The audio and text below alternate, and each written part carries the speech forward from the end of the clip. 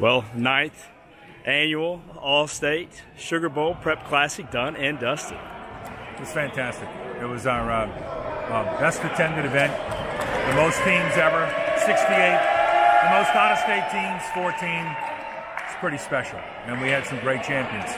Both teams from the Northeast. But I think what people have also learned is we have great basketball here in Louisiana. We have a lot of really good basketball teams in our state.